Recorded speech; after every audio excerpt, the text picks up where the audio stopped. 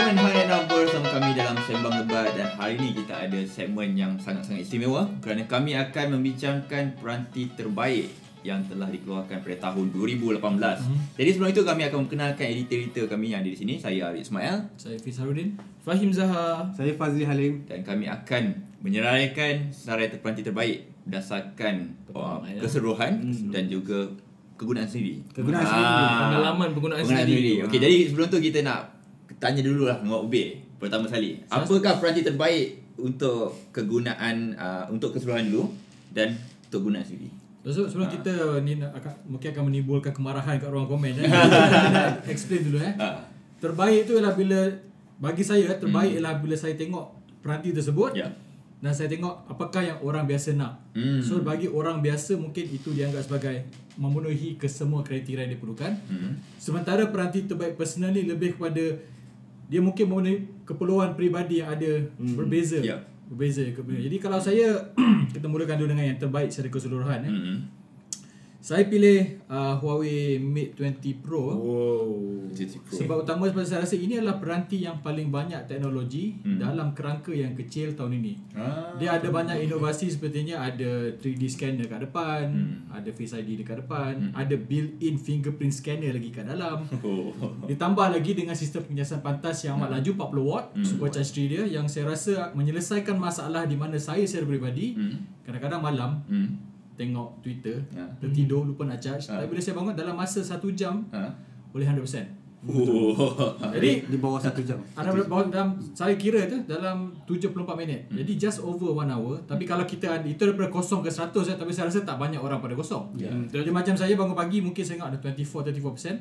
Dalam less than 1 hour tu boleh 100%. Oh, Jadi saya mandi, bagi-bagi bagi minum ke anak apa semua, dah settle boleh pergi kerja tak payah risau tentang whole day Ah. ada charging. So balik rumah pun masih ada bateri lagi. Masih ada bateri lagi Dan bateri ni Saya perasan eh, Saya guna Mate 20 Pro ni Saya Dulu saya anggap saya sebagai heavy user Hmm. Tapi saya sekarang Bila saya dah Kerja di office Banyak guna wifi ya, Tak keluar banyak Jadi sebenarnya bila kita banyak guna wifi Ya. Bateri tak gunakan sangat Ha. Dan saya pun tak berapa check sangat peranti Tapi jadi penggunaan saya Yang saya anggap sebagai Intermittent eh, Ya. Sederhana Ha. Dia boleh SOT lebih kurang 8 jam Fui, Wow. dan, dan dapat tahan bateri saya rasa yang terbaik setakat ni dalam sekitar um, 23 jam. Hmm. Itu yang penggunaan saya. eh. Ya, mileage may vary pada orang. Tapi bagi saya, ini adalah bateri yang sesuai untuk saya. Hmm. Dan saya rasa benda paling killer pada peranti ni bukan benda saya cakap tadi. Tetapi adalah lensa ketiga, ultra wide angle. Hmm. Oh, Yang ya, digunakan betul.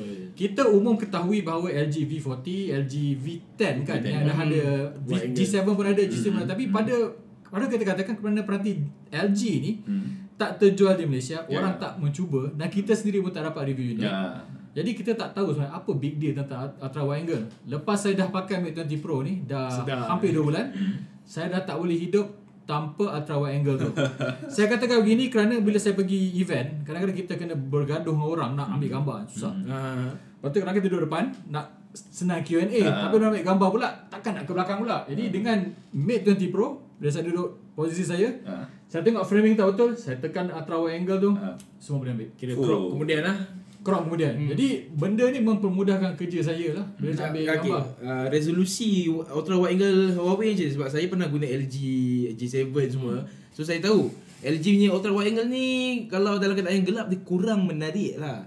Kalau Mate 20 macam mana? Mate 20 pasal dia ada night mode Hmm. dan sebenarnya kita boleh set. Hmm. Kita nak 40 megabyte uh, megapiksel atau 20 megapiksel. Dekat ultra wide angle punya Ultra wide angle tu. Oh, menarik. Jadi pasal kerana benda-benda fungsi-fungsi Ah. ini saya rasa ia adalah terbaik Hmm. kerana kita harus akui 2018 adalah tahun yang sangat menarik dari segi peranti. Yeah. Kita ada macam-macam inovasi tapi in terms of paling banyak inovasi, paling banyak benda yang saya rasakan orang mahukan termasuk dengan pengesahan tanpa wayar, Hmm. termasuk juga dengan dia punya boleh charge peranti lain lagi, pengecasan paling pantas Ha. dan kesemua ini bila all in all Mate 20 Pro ialah overall terbaik tahun ni bagi pendapat saya. Ah.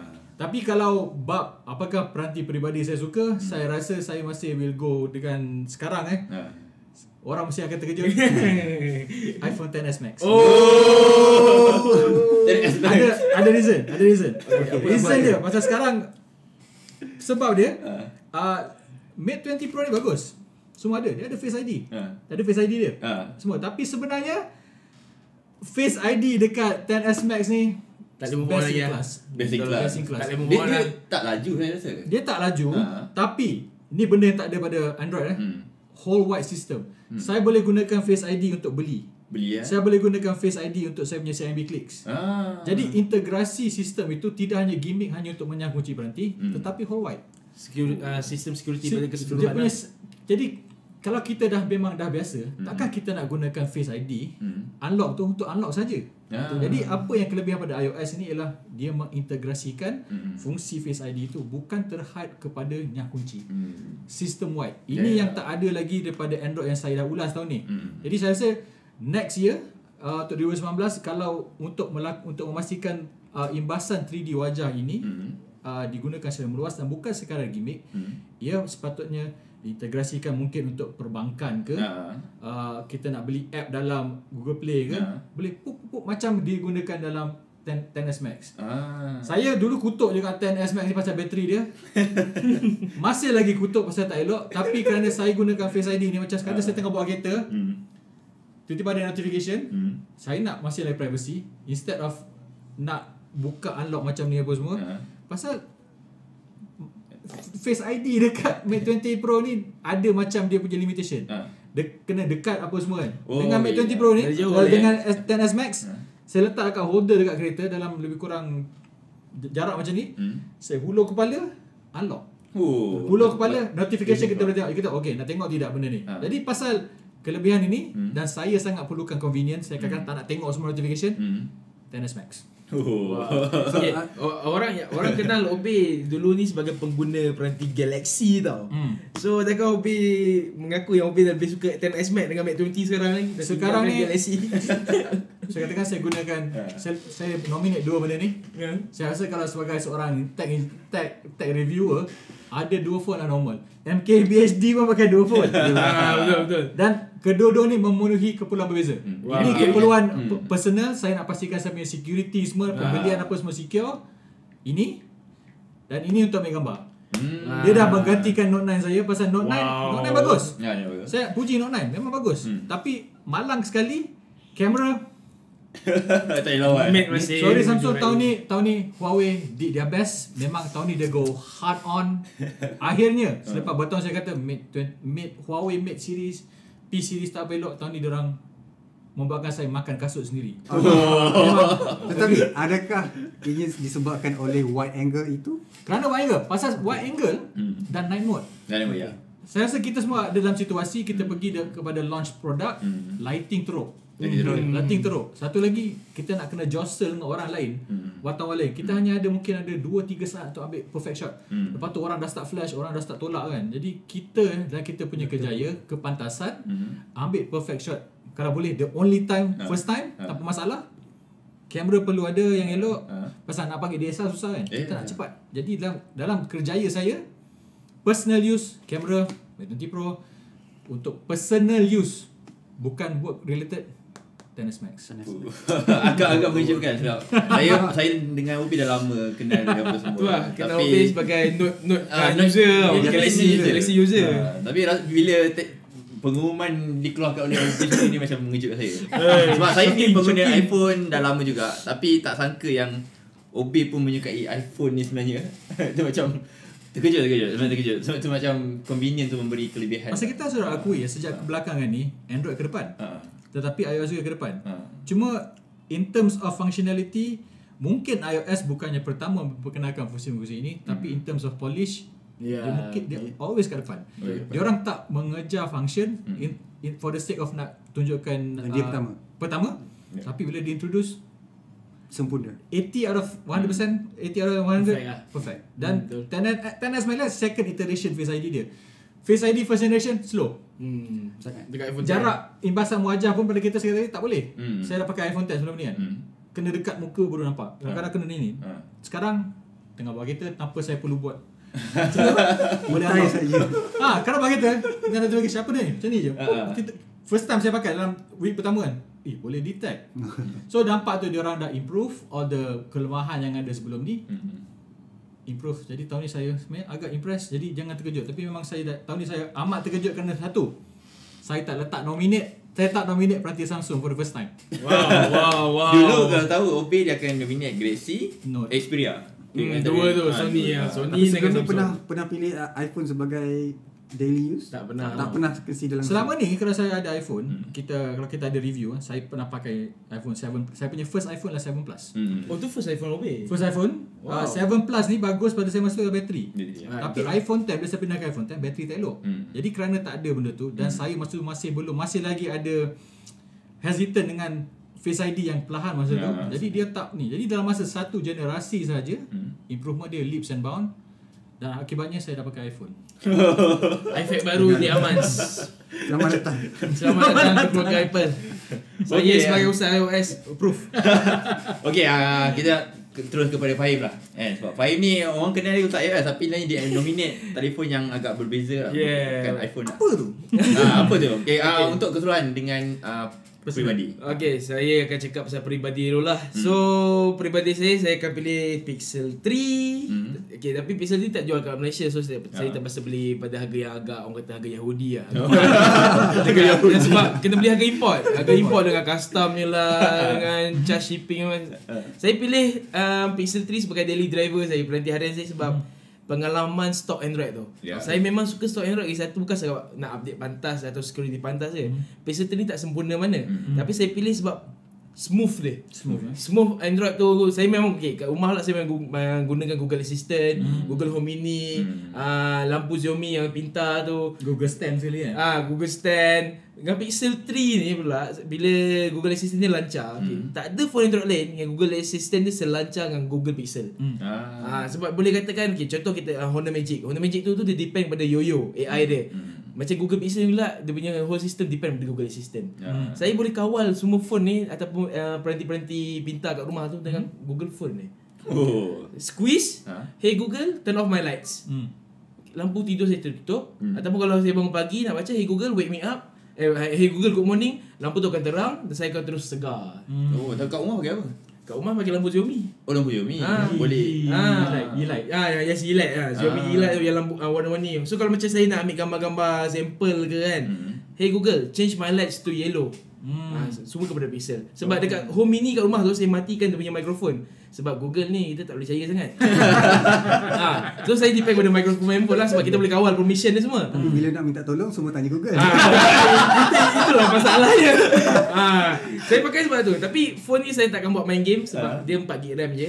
Dia memang tak mampu untuk main game dengan jangka masa yang panjang. Baik. Ah, tapi dari segi pengalaman saya harian untuk main game, bateri tahan, tengok movie, saya akan pilih Galaxy Note 9. Galaxy Note 9. Tu Ah. overall terbaik lah. Overall terbaik bagi saya ialah Galaxy Note 9 satu, ada earphone jack, ada wireless charging, ada IP rating 68. Hmm. Lepas tu ada bateri sehingga 4000 mAh fast Ah. charging. Itu bagi saya satu phone paling perfect untuk tahun ni. Ya. Saya pakai Note 9 uh, boleh kata antara phone Samsung paling lama saya pakai adalah Galaxy Note 9. Hmm. Saya beli sendiri. Hmm. Saya boleh dapatkan shot sampai SOT sampai 8 jam. Oh, lama. First time saya pakai phone Samsung, saya tengok, "Eh, 8 jam bateri. Kalah kalah OnePlus, kalah Ah. Pixel macam wow, dengan earphone jacknya, dengan Earphone jack. Hmm. Tak, ada- tak ada notch apa semua. Tak ada notch, skrin besar, AMOLED dia 3 Tak ada cantik. kan? Ha? Tak ada, tak ada notch ni. Ah, Pixel 3 ni pun tak ada notch. Ah, Hari tu sebab saya pilihkan Pixel 3 ni sebab ni phone yang skrin dia besar tapi tak ada notch. Hmm. Tak ada sebenarnya compact tu. Dia compact Ah, ah. tapi skrin dia lebih daripada 5 inci tau. Sebenarnya skrin dia besar nak sampai satu tangan inci. tu tak lepas pun sebenarnya. Ha. Body dia kecil sebab bezel dia kecil sikit. Oh, sekarang Ah. 6 inci dah panggil compact. Dulu 6 inci tu dah macam tablet. Sekarang sekarang Fahim dah jadi dah jadi aku lah. Aku yang yang dulu. Lepas tu dia, Saya pilih Note 9 tadi ni pun Macam saya cakap dia Boleh kata sempurna lah Hmm. Semua benda dia Kat ni tak ada earphone jack Ya, ya. Hmm. Ah, Note 9 mesti kekalkan Bateri besar Apa lagi alasan pengeluar lain Note 9 boleh Kenapa pengeluar lain nak buang jack Dengan alasan letak bateri lagi besar Ya. Letak bateri lagi besar pun Tu pun lagi kecil pada Note 9 Note 9 Ya. boleh lagi kekal ah. Menarik. Uh, okay, kita nak tanya dengan Fazli lah sebab Fazli ni lagi eh, macam orang kenal dia sebagai YouTuber apa semua kan. Apa? Dan banyak sebenarnya telefon yang ada kat channel Fazli dibeli oleh sendiri uh, Fazli Ya, sendiri eh. yang penggalak sebenar ni macam Ah, mana? sebab ah, sendiri. sebab selalu kalau kita dapat review unit ni macam dia tak berapa sangat lah kita pegang review unit pun tak lama tapi yang Lama. ah, untuk Fazli dia dah beli Dah biasa guna. ah, dia dah biasa guna mungkin ada lagi telefon yang macam memuaskan hati Fazli kita tanya dulu ah, dari segi keseluruhan dan peribadi Dari segi keseluruhan saya bagi straight uh, keseluruhan dari peribadi saya akan pilih Samsung Galaxy Note 9. Sama. Sama Antara sebabnya mungkin Obe cakap tadi Mate 20 Pro tetapi bagi saya uh, dia punya apa panggil fixed aperture bahasa dia boleh ubah Dual Ah, aperture. ah, Yes, dual- dia- Dual variable, aperture. variable. Ah, variable aperture, sorry, maaf. Uh, biasanya saya akan guna 2.4 punya Hmm. Uh, aperture sebab salah satu sebab adalah kualiti gambar dia lagi cantik dekat 2.4 Hmm. uh, f2.4 Hmm. sebab saya dah uji uh, berbanding dengan tak silap saya 1.7 dia punya aperture ataupun 1.6 Hmm. uh, dia memang akan lebih terang daripada 2.4 tapi masalah detail akan hilang selalu uh, overexposed dan sebagainya Hmm. jadi saya akan sentiasa shoot dekat menggunakan f2.4 dari segi uh, video pula actually saya tak gemarkan untuk uh, Samsung Galaxy Note 9 Sebab Uh, sebab dia dia punya gambar tu selalu macam ada sedikit boleh kata skip frame satu. Oh, Ah, frame. Jadi rakam video ke tengok video? rakam video. Oh, rakam video. Dia akan ada satu skip frame, saya tak tahu kenapa. Maybe dia punya software ke. Selalu ada macam tu. Jadi video sentiasa, sentiasa tak lawa dan saya lebih prefer mana-mana Android.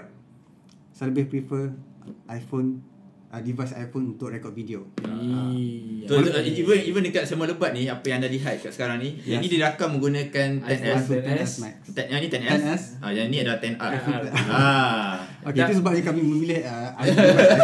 Banyak. Dan juga uh, iPhone ni dia tak ada limitation Hmm. kepada Rakaman 30 4K. minit. Betul. Ah, so biasanya Android akan ada cap 30 minit ataupun lebih 15. lagi bawah. Dan 15 penggunaan, penggunaan peribadi saya memang Note 8 dengan Note 9 dengan S9 30 minit. Hmm. Dan salah satu sebab dia adalah dia tak ada notch kemudian dia masih lagi ada 3.5 mm Yeah. headphone jack. Sesungguhnya adalah S Pen. Oh, ah, lupa Ah, mention Dia punya production production pula productivity lagi baik ada uh, S Pen. Hmm. Dan juga dia IP rating lah, ada IP rating. Hmm. Untuk uh, production punya dan ini adalah antara yang guna boleh kata dia promote phone ni untuk gaming juga. Sebab dia ada Hmm. Cooling system. Hmm. cooling system juga ataupun heat pipe dekat uh, dia punya body. Yes, jadi sesuai untuk gaming juga. Hmm, tapi still rasa panas juga sebenarnya. At least dikurangkan lah. yes. Uh, kemudian apa lagi? Untuk device ni? Screen cantik. yes um, semasa ianya mula-mula keluar dia promote bersama dengan Fortnite Hmm. Ah, so itu antara adalah antara antara satu sebab Mm. Gaming phone, uh, Samsung. Galaxy Note 9 dan promote sebagai gaming phone dan juga untuk productivity Ya, ya. sebagai device utama yang korang boleh beli. Lagipun Samsung pun ada buat video untuk uh, apa? Sesuai untuk pelajar. Oh, ya betul. Video tu yes. Ah. ini pun sesuai untuk Tapi- pelajar juga untuk menulis nota. Harga dia tak mesra pelajar. Yes. Eh, tapi Itu pelajar dia. sekarang ramai kaya-kaya. Ah, Tapi duit BT ke situ ah. Panel kaya tak apa. Tapi sekarang ni dekat mana Kutan Ah. dah ada uh, dah jual phone ni dalam harga 2600 Tak payah, tak payah kutan. Dekat Shopee sendiri saya jumpa baru semalam Yes. RM2,699 iaitu RM1,000 off. Hmm. Kalau, kalau anda nak mahukan device ni lebih murah, boleh beli dekat Shopee. Shopee, Kutan. Ah, Kutan Lazada. pun ada dalam Lazada harga Ah, ada masih RM600. SME eh. Ah, itu memang tak ada sebab Note 9 dekat Malaysia tak ada import set. Susah dapat import set. Memang kebanyakannya SME set. Hmm. Tapi saya rasa yang 2699 tu berkemungkinan lah uh, penjual tersebut uh, itu adalah set yang percuma Galaxy Watch dulu tu. Galaxy Ah. Watch tu. Jadi uh, penjual dah jual jam tu. Jadi dia boleh jual 9 ni pada harga yang murah lah. Ah. Ah, atau mungkin jual jam tu dijual basingan di kedai-kedai Tengok, tengok tu lah, tengok Shopee kalau search Note 9 banyak sangat. Harga 299. Ah, tapi boleh kata uh, paling murah saya jumpa 2699. Hmm. Paling mahal pun saya rasa saya jumpa sekarang kata 28, bawah 3000 lah. Ah. RM3,000 sin bawah RM3,000 ringgit. Kurang 6 bulan harga dah bawah 3000 untuk phone ni. Baik beli ni. Lagipun dia dekat dengan uh, harga OnePlus tak silap. Hmm. Bawah. OnePlus 60 64 gig Hmm. 2588. 298 tak Eh, ada. pa- sorry, paling baru 24 le- 24 lebih. Ha. Tambah 150 anda dapat Note 9 lah. Ha. Yang 128 gig. Eh 64 eh paling minimum dia. Ah 128. 128 nah minimum dia. Interesting uh, Fazli cakap pasal gaming dan juga video eh. Hmm. Ini dua benda saya tak buat. Gaming saya memang tak suka main pemua. Ya. Okey. Pasal saya memang konsol. Hmm. Konsol Jadi user. saya, sebab tu saya rasa screen tak penting sangat, gaming capability tak penting sangat. Hmm. Tapi cakap pasal screen tadi, saya realise uh, screen Hmm. antara 10s Max, Mate 20 Pro dengan Note 9, Hmm. uh, Note 9 win. No no ya. Saya perasan pada 10s Max bila saya tengok Netflix kita saya selalu akan gunakan video yang sama kan Netflix Ah, dengan ya. Netflix. Netflix terlalu warm. Terlalu kita warm. boleh nampak dia macam a bit yellow. Hmm. Terlalu warm. Note 9 dia just nice. Dekat Mate 20 Pro ada satu masalah ada color bending. Hmm. Ni yang saya, saya tengok banyak-banyak review tak ada orang kata color banding. Saya tak perasan ke? Pasal bila Ah. bila ada scene menunjukkan langit misalnya, Hmm. kita nampak macam ada gradient. Oh. Oh, ya. Itulah color banding eh. Ah. Kalau tengok kat Note 9 tak ada color banding dia semua cantik. Jadi screen masih lagi saya rasa Note 9 menang. Calibration untuk uh, screen Note 9 lagi terbaik lah. Bercakap pula pasal screen ni saya kalau kita compare lah Saya saya cakap peranti pilihan saya lah Note 9 kan Hmm. Antara yang terbaik kan Hmm. Kalau kita compare dengan Pixel 3 XL eh Bukan Pixel 3 kecil Pixel 3 XL ada takut hodoh Hmm. Kalau kita compare dua tu Pixel 3 XL menang Tak, even yang Pixel 3 pun nampak lawa. Tengok. Dia nampak lawa Ah, tapi ah. tak secantik Pixel 3 XL Hmm. DisplayMate pun cakap uh, DisplayMate ni yang buat tanda aras untuk screen eh Dia kata Pixel 3 XL adalah peranti Android pertama Yang dapat screen quality A+. Dia Dulu tak, dulu iPhone yang menang. dulu Samsung Oh, Samsung. Samsung Ah. Galaxy sebab AMOLED dia Ah, ya. Dia kata pertama kali dia jumpa Pixel ni series Hmm. A+ dia bagi Fuh. Saya ingat tak percaya Mungkin Google bayar ke Ah, apa ya. kan Bila dah pakai sendiri dia tengok Tengok Netflix Tengok YouTube macam Wow Uh, lagipun uh, YouTube recommend ni sebagai dia punya uh, Entertainment. Ah, entertainment, entertainment, yes. entertainment device. Ah. Untuk uh, Galaxy Note 9 tengok YouTube, yes yang ni yang terbaik. Kemudian saya nak sentuh pasal security. Hmm. Uh, kalau Android phone sekarang ni biasa gunakan IR camera ataupun Hmm. infrared camera untuk nyakuti peranti dan sampaikan ada takut. Ya. Well, uh, Samsung Galaxy Note 9 tiada takut. Walaupun dia ada iris scanner dekat bahagian atas ni, dia uh, Ada masih IR. menggunakan IR uh, camera, IR blaster untuk IR blaster pula. Sorry. Uh, dia, dia gunakan iris scanner Ah. untuk Iris scanner. menyakuti peranti. Uh, dan ini adalah antara salah satu security yang terbaik untuk Android. Hmm. Dan setuju. Uh, tak lawan dengan iPhone tadi, still uh, pilihan untuk iris scanner lagi baik lah daripada IR blaster semua. Uh, IR camera tadi. Ya, betul, Ah, betul. Saya one thing je kalau saya perasan cakap pasal iris scanner ni, iris scanner ni kalau kita nak pakai, Hmm. ada sistem integration Ya, ya. pada Samsung. Samsung, ya. Tapi masalahnya kena pakai Samsung Web. Ah, ya, Samsung browser, Samsung, browser, ya, saja je betul. integrasi kalau kita nak unlock ke apa sebagai ganti password kena pakai Samsung Web. Tapi saya rasa tak banyak orang yang pakai peranti Samsung. Saya sendiri pun Ya. tak pakai Samsung Web browser pasal dia tak Biasa guna Chrome je. saya pakai Chrome pasal satu kita dah ada all the password. Satu lagi saya rasa dia punya experience pakai Samsung web browser tu tak seelok Chrome lagi walaupun Chrome not perfect pun dekat Yeah. Android. Tapi kita always pilih yang lebih elok dan oleh kerana tu banyak fungsi-fungsi yang inovatif ni tak masih lagi tak ada sistem wide. Dan dia adalah benda masalah yang saya rasa adalah benda yang amat normal kat Android. Hmm. Banyak sangat function Hmm. tapi tak ada integration. Jadi rugi. Hmm. Salah satu Integration. kelemahan juga bagi saya dekat iris scanner ni dia ada masalah perlahan. Walaupun dia Ah, buat betul, macam perlahan. intelligent something kalau tak saya, scanning. intelligent scanning Dia dia, combinekan muka atau mata. muka ataupun Ah. mata. Hmm. Tapi masih lagi perlahan walaupun dia cakap macam ni. Hmm. Dan saya harap masa depan Samsung akan improvekan iris scanner ataupun mungkin letak macam Face ID ke. Ah yang tu lagi best lah. Face ID eh kita cakap Face ID. Ya. Ini true true story eh. Uh, saya ni janggut sekarang kan. Ha. Jadi saya kadang-kadang bila saya dah boarding baru saya shave. Hmm. Dan bila saya shave uh, dekat Mate 20 Pro ni suddenly cannot recognize face. Oh. Ah, dia, Android. dia takkan dia tak update dia punya kita punya facial ni facial. Kira Best tak, ya? kira tak belajar lah benda tu. Dua-dua ni Ha. peranti ni saya gunakan beza dia saya gunakan ni 2 minggu lebih awal pada 10s Max. Hmm. Jadi sebenarnya hair growth kat muka semua standard. Hmm. Jadi pada hari yang sama saya memang dah saja hari ni semak nampak macam barbarian kan. Shave. Tengok tali tali dia So kena set up balik lah. Ah, lepas tu dekat 10s Max eh Boleh. unlock. Wow. Dan Dia sekarang belajar. saya ada saya ada dua tiga cermin mata eh. Hmm. Ni cermin mata yang saya gunakan untuk kerja. Hmm. Kat rumah ada dua lagi Hmm. yang lain eh. Ya, dia ya. Tukar cermin mata, 10s Max tak ada problem, detect. Ha. Mate 20 problem. Mate 20 problem uh, dekat Note 9. Note 9 kalau saya pakai cermin mata langsung tak detect sebab dia pasal saya pakai high index glasses Ha. ada UV reflection. Bila Ya. tengok kat IR punya view tu Hmm. tak nampak mata. Oh. Coating ni menghalang sebenarnya untuk IR tu nampak mata. Ya, Jadi dia betul lah, salah satu kelemahan dia. Ah. Kelemahan dia. Jadi saya cakap, saya cakap tadi lah sebab saya pilih 10s Max ni sebagai peribadi punya personal suka pasal benda ni convenience. Ya, ya. Dan Setuju, setuju. Face ID ni macam saya cakap tadi Hmm. miles in front pasal saya buang janggut ke Ya. saya tukar cermin mata masih boleh detect. Sampai saya cakap macam mana dia buat? macam mana dia boleh magic? Walaupun uh, high silicon Kirin 980 ada dua MPU. MPU, yes. Ya, I view.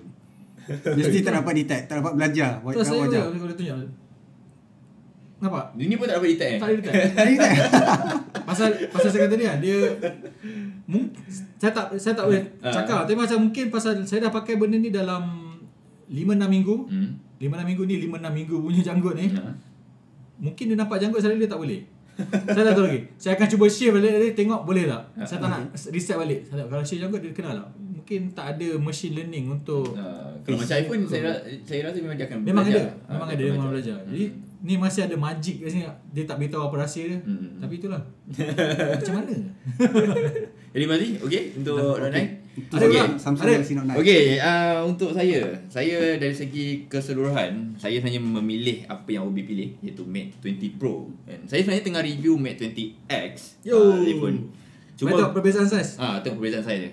Oh gila besar. Dia Besar dapat- betul ya Allah Ah, ni- ah, 20X ni pakai skrin 7.2 rasanya. Wow. 7.2? 7.2 inci. Memang terlampau besar. Terlampau. Tapi bila saya guna ni saya nak beritahu lah kenapa saya pilih Mate 20 Pro ni sebab bila saya pakai Mate 20X ni saya perasan dia punya kamera dia, dia punya experience dari segi Sisa operasi sebenarnya ramai yang kritik sebab macam tak suka EMUI, UI tapi betul. sebenarnya laju. Laju Ah memang Ah, laju. betul, betul, tak betul. memang tak ada masalah dari segi macam lag ke dia pun nak gaming pun ada GPU turbo, ada 4D gaming apa semua kan. Macam Benda tu memang tak ada masalah. Ah, ah. Orang tak suka EMUI sebab design je. Nah, design je. Ah, Tapi bagi saya, ah, okay. orang biasa, orang yang luar daripada golongan enthusiast, Ah, yang attack enthusiast, betul. dia orang tak kisah pun. Kiranya ada UI lagi cantik sebab kita boleh pilih Hmm. tema lain kan.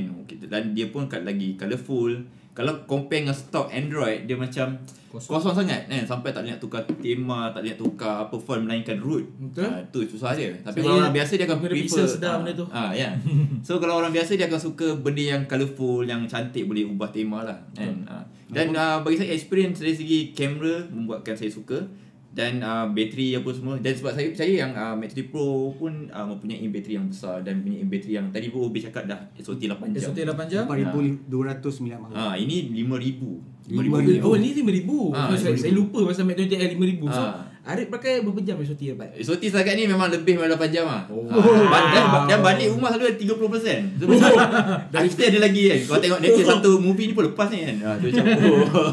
So balik. literally boleh tengok empat, empat movie lah straight Ha, tengok 4 movie. Hmm. Ha, dan Mate 20 Pro pun uh, dia ada uh, fast charging sama juga macam ni uh, Mate 20X uh, dan dia ada wireless charging dan best ni dia ada IP rating lah untuk kali saya. Hmm. Uh, itu yang buatkan saya rasa macam dia antara phone lengkap dan padat. Eh, earphone jack ada kan?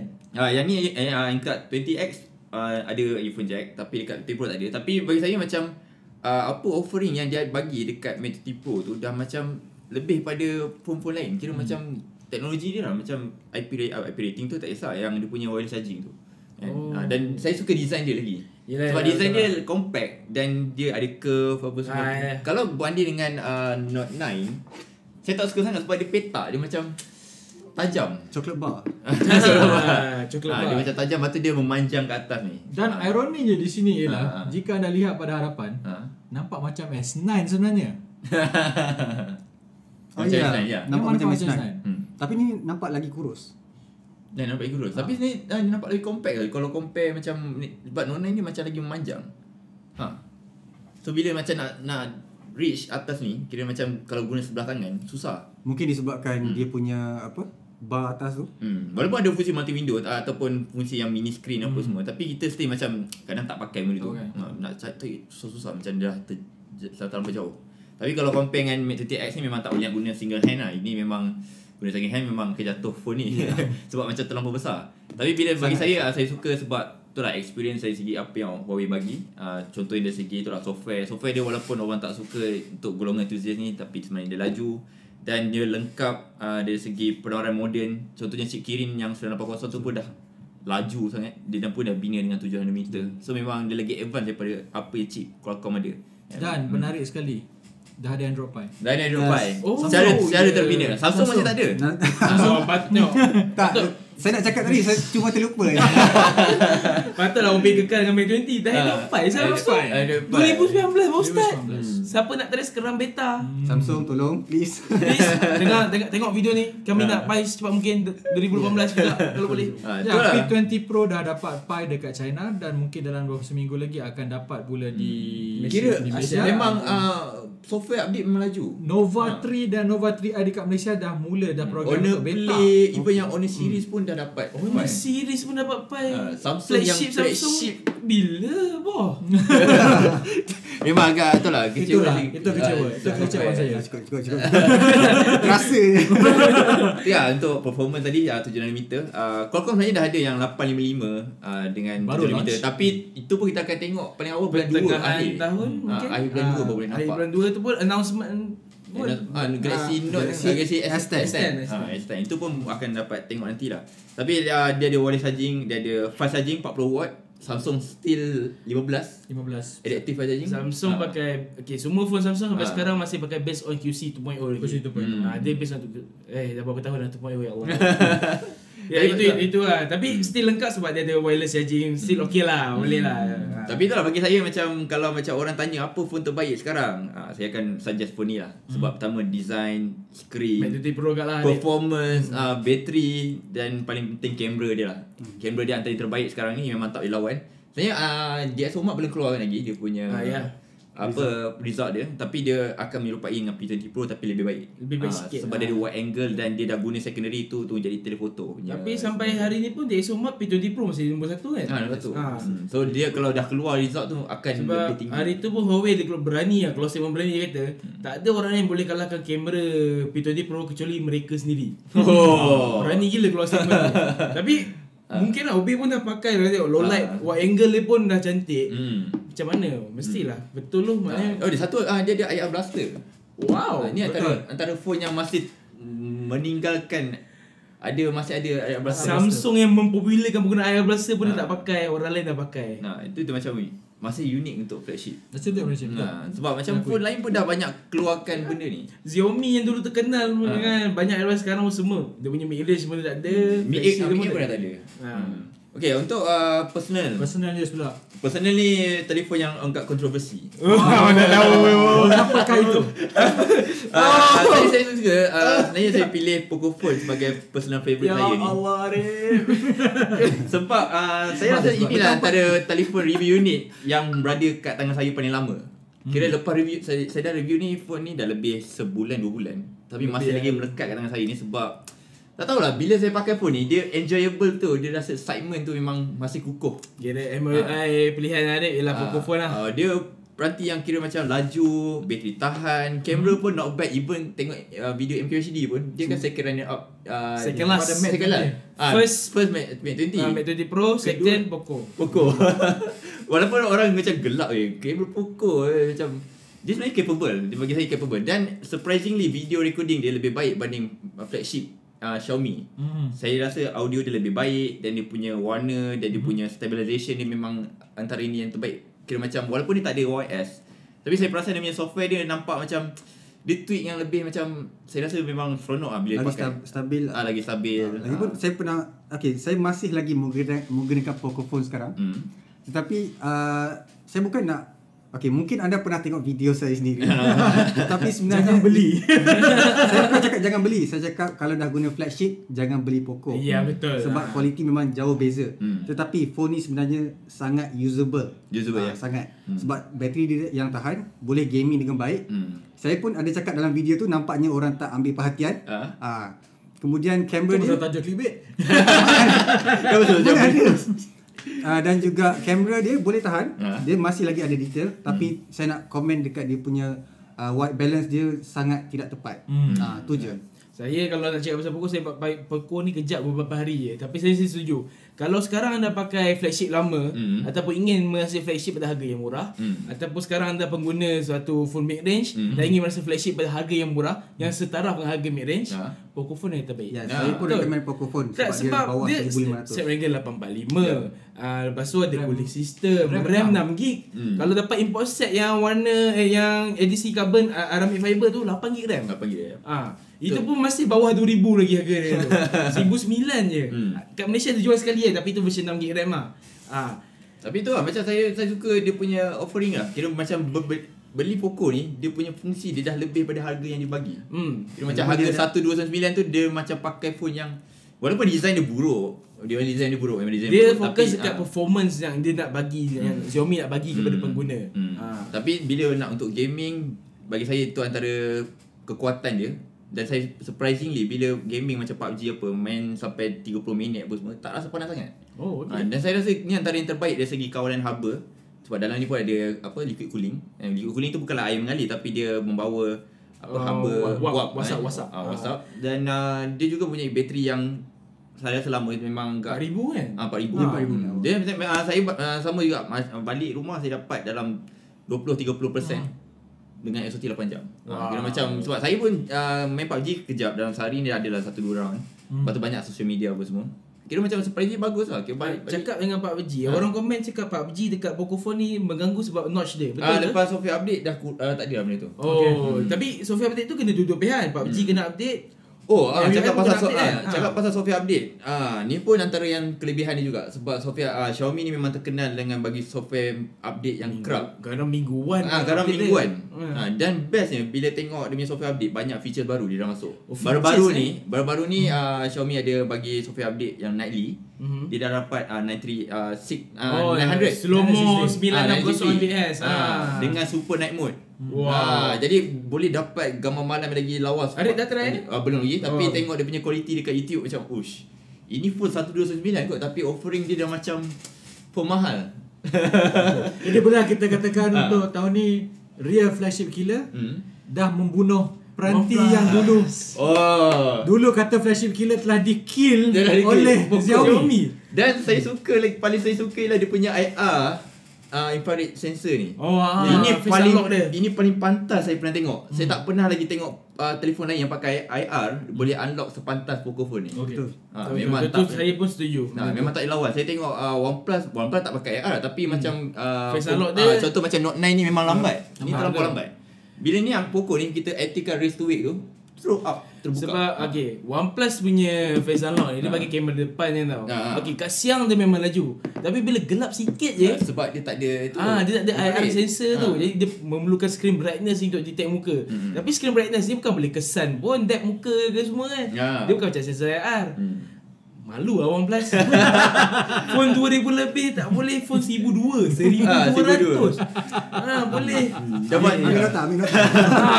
Dan membuat saya melekat ialah sebab uh, saya memang guna ni untuk ambil gambar lah. Hmm. Sebab saya uh, actually saya tak pakai lah software dalam dia tapi saya pakai Gcam. Gcam. Uh, Gcam. Sebab Gcam dalam ni dia uh, telefon Xiaomi uh, selepas keluaran Mi Mix 2S dia dah ada camera tu API enable tau. Hmm. So bila anda install Gcam tak perlu nak root Tak apa. perlu kena root root tak perlu root dan terus pakai dan dia boleh pakai uh, yang Gcam baru daripada Pixel 3. Sebab saya Ya, pakai uh, beta punya ROM dia dah Android Pie. Jadi dia punya software Pixel 3 apa semua dah boleh masuk dalam ni. Oh ya, yeah. cakap pasal Gcam tadi. Tahu tak uh, Pocophone ni pakai lensa yang sama Pixel 3 tau. Hmm. Sebab tu performance Gcam dia sangat baik. Even Ah. saya uh, pun saya dah tak nampak sangat. Kira hmm. macam ambil gambar laju apa semua macam dah stunning dengan phone Pixel 3. Pixel. Kira semua setuju lah untuk tahun 2018 hashtag baik beli Poco. Baik beli Poco. saya, saya pun tak deny. Saya pun serius saya suka dengan Poco ni. Ha, dan even dia boleh ada ada apa fast charging kan semua. Ni antara yang terbaik untuk student. Ah, eh, ini baru pun. mushroom mushroom pocket lah. Okey ah jadi itu saja untuk Sesi ah, pertama. Sesi pertama untuk perkongsian telefon-telefon terbaik yang kami telah dikeluarkan. Tadi OB pun dah pilih uh, Mate 20 dengan 10S Max sebagai telefon terbaik untuk OB. Uh, Fahim dah pilih Pixel Pixel 3 dengan Note uh, 9. Note 9. ah. Fadli dah pilih Note 9. Ah, Satu untuk, je dia pilih. Ah, dia pilih satu je untuk kedua. Personal dengan uh, apa keseluruhan. Dan saya pun dah pilih Poco dengan 20 tadi. Dan Itu- kita ah YouTubers mesti tak suka tak ada sambung orang kan. Dia nak seorang. Orang yang pilih dua, dia seorang pilih satu. Tak, senang, senang orang buat pilihan. Ah. Okey, jadi Nak buat pilihan ada dua. Kau boleh pilihan. So tak ada Okay. pilihan lagi bagus. Okey, selepas ni kita nak cakap mengenai teknologi terbaik. Hmm. Kita nak bukan nak cakap pasal phone dah. Kita nak cakap pasal teknologi Overall. terbaik overall. Um, kalau lepas ni mungkin ada yang kata nak juga masuk phone berkeras ah, tak kisahlah tapi kita nak bercakap luar daripada phone. Sebab kita nak tanya apa teknologi terbaik yang dihasilkan pada tahun ini mengikut editor kami ni. Jadi jangan ke mana? Kita Jumpa lagi sebentar ni. Bye. Okey, kita kembali ke Sembang Lebat dan tadi kita dah bercakap mengenai telefon-telefon terbaik yang telah dipilih oleh editor-editor kami. Dan kali ni kita nak bercakap mengenai teknologi terbaik. Yo. teknologi lah selain daripada telefon. Ah, kita nak tanya dari segi OB, ah dari segi OB. Ah, kita tanya dulu daripada OB. Dari segi OB. teknologi terbaik tahun ni, OB rasa apa benda? Ah, seorang satu ke? Seorang satu. Seorang satu je. Okey, kalau Banyak pasal pasal seorang satu Tak kisah kalau kalau dia rasa macam personal ke. Pasal saya rasa teknologi ni terlampau besar Terlampau kan. besar, ya? Tapi dia ada software dan dia ada hardware. Hmm. Jadi saya hardware mulakan hardware Oh, tu okay. ialah Huawei MacBook X Pro. Member S Pro. Saya bukanlah orang yang terkenal dengan gunakan laptop. laptop. Saya ke office pun pakai desktop. Saya ada laptop, saya ada laptop. Ya. Tapi saya set up dia jadi desktop. Saya Hmm. sambung apa semua. Tapi bila all this while bila saya pakai laptop saya ada macam-macam tak suka keyboard tak sedap, Hmm. mungkin bateri tak belok, Hmm. screen tak cantik. Dan bila kita cakap tentang laptop uh, Windows ni Hmm. banyak masalah kan. Ya, Tapi suddenly bila saya pakai benda ni semua kegusaran saya benda saya tak suka tentang Hmm. laptop Windows Hmm. akhirnya diselesaikan dengan rekaan yang mungkin anda pernah lihat pada laptop MacBook MacBook orang kata selalu meniru dia tak elok Hmm. tapi nampaknya dalam kes Huawei MacBook X Pro ni Ya. Perfect bila machine. dia meniru ialah peniruan yang done right Oh, bukan done macam right. cak ayam Ya. Dia menyempurnakan ke? malahan bagi saya dari segi skrin skrin ni lagi elok pada MacBook Air baru Boleh? dah tengok tadi kita ada Dia, dia, lagi nipis beza Beza dia. lagi nipis Facebook tak ada bezel nipis ni. eh? Resolution dia lebih tinggi, pakai. lebih tinggi kuat HD. Ah. Dia boleh support tu 4K monitor. Fuh. Dia ada USB-C Thunderbolt at the same time dia boleh bagi lagi USB A A. kat sini. ada touch ID dia sendiri dan paling penting sekali, paling penting sekali saya nak pakai MacBook sebenarnya. Saya Adik bahkan cak, takkan cakap saya dah setahun saya nak beli MacBook Air, nak beli MacBook Pro. Tapi keyboard baru tu. Setiap kali saya pergi Ya. kedai Mac eh, saya pergi Switch, saya pergi Mac City. Okay, hari ni is the day that aku akan beli. Aku pergi dekat tempat tu try try dekat dunia notepad nak type kan. Ha. Tak boleh. Betul. Setiap bulan pergi nak nak try Ah. nak get used dengan papan kunci tu tak boleh. Hmm. Salah satu sebab dia sebab tra- dia Travel punya travel, travel travel sikit sangat. Dia tangan sakit. Hmm. Jadi bila dengan ni saya pun macam skeptikal juga kan. Alamak, ini travel shallow. Memang travel dia shallow jika dibandingkan dengan ThinkPad. Ya. Yang pada saya ThinkPad adalah still papan kekunci terbaik pada sebuah laptop. Betul betul. Ciklet. Tapi dekat sini walaupun dia shallow hmm. tapi dia buat in such a way yang saya tak annoyed. Dan saya suka dia dia tak berapa squishy, dia rasa padat, Hmm. kita boleh type dengan laju. Jadi kerana benda tu dan akhirnya menghasilkan sebuah laptop yang saya rasa senonoh, Hmm. saya pilih MacBook X Pro sebagai hardware of the year keseluruhan untuk 2018 pasal dia memang wow. amazing. Jatuh cinta. Cara Bobi cakap macam jatuh cinta. sesuai lah untuk travel pergi mana-mana Tak media. ya, travel. Pasal kita tahu kita kita bila kita travel, kita every time kita pergi airport, kadang-kadang kita Ya. transit. Ya. Kalau setiap kali kena keluarkan laptop. Saya sebenarnya saya ada laptop yang besar, Hmm. memang ada tapi bau Berat. sakit, berat Hmm. dan dia tak berkuasa seperti saya nak. Hmm. Bateri tak elok. Jadi ni lah orang kata ada imbangan yang baik untuk kuasa, imbangan yang baik untuk display, yang baik untuk papan kunci dan imbangan yang baik dari segi estetik. Saya rasa Ya. sekarang estetik dah penting. Pasal kita bila kita pergi international conference, Hmm. orang pakai komputer kan kita pakai cat Ya, ayam. ya, ya, ya. orang tengok kita macam, oh mama ni pakai Apa ni media? Apa ni media ni? Kadang-kadang kita pula pula kena kita duduk dekat wartawan. Eh, mak mak the best sebelah kita. dia pakai MacBook yang cool lah kita pakai. Ah. Kita pakai laptop. Dia nama sir. Mac, dia, dia rasa macam So rasa cool Rasa cool Dan masa MacBook X Pro ni punya review keluar Hmm. Dekat media barat Dia orang kata the best, the best Ini mesti kena bayar Hmm. So kita kita kita dilatih untuk skeptik Ah, Tapi bila kita dah pakai sini macam Oh betul Betul Laptop ni Sangat berbeza dengan laptop-laptop Windows yang pernah saya guna Dan pernah saya ulas sejak 4 tahun kebelakangan ni. Walaupun Huawei antara yang ni antara model yang macam awal untuk mereka menghasilkan sebuah laptop. Hmm. Tapi percubaan yang masih baik. Percubaan baik Percubaan baik Dan harga dia uh, Untuk ni ni i7 Hmm. Dengan 16GB RAM Dengan SSD 256 512 ini. Uh, 512 Ah, 512 6999 saya rasa agak kompetitif un- jika dibandingkan dengan orang yang nak beli high end Hmm. MacBook Air. Saya rasa ini sebenarnya adalah kompetitor untuk MacBook Air bukan Pro. Oh, bukan bro. Pasal dia nipis dia lah kategori thin and light dan portable dengan bateri yang baik. Hmm. Cuma kekurangan harus saya kata mesti ada kekurangan lah. Bateri dia kata 13 jam 13 jam 13 jam dia kata tapi saya dalam penggunaan saya pakai Photoshop right kalau saya dapat 9 hours dah macam amazing. Oh. Dan agak jarang dapat 9 Ah. hours. Jadi bateri belum lagi. Tapi still 9 jam lama. Lama tapi bila bandingkan MacBook Air yang Ya. legendary Ya. boleh tahan almost whole day. Ya, ya. Das, ka- ada ada sebab kenapa dulu saya tak tahu kenapa semua writer pakai MacBook Air tak pakai Pro. Hmm. Kita faham pasal dia punya Bateri. bateri. Dan dan kita punya tugas kadang-kadang kita pergi press room Hmm. plug pun tak ada. Ha. Dan bila plug pula kadang-kadang kita pergi kita lupa buat adapter pula pasal overseas kan. Jadi nak ngelakkan benda tu benda macam ni yang tahan agak lama penting. Hmm. Cuma satu lah uh, webcam. Itu lah antara problem juga. Pakai hidung tu. Uh, Saya selalu ada alasan kan kenapa. Macam saya tadi saya tak pilih Note 9 pasal saya tak gaming. Okey. Tak kisah sangat. Saya tak shoot video. Hmm. Tak kisah sangat. Saya tak kisah sangat tentang uh, apa cooling apa semua. ha. Sama juga walaupun webcam dia ada kat papan kunci siapa yang tak tahu. Webcam dia kat papan kunci ni.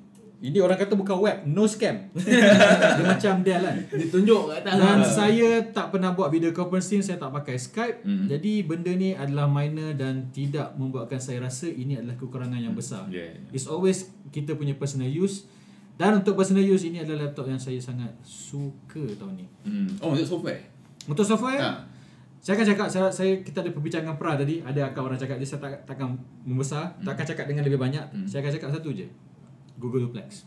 Yo, Google Duplex. yeah. Apa Google Duplex? Saya rasa orang-orang saya kita kita orang nampak ada pertindahan. Jadi saya, saya biarkan kawan-kawan saya bercerita dengan lebih jauh. Saya dah cakap pasal laptop.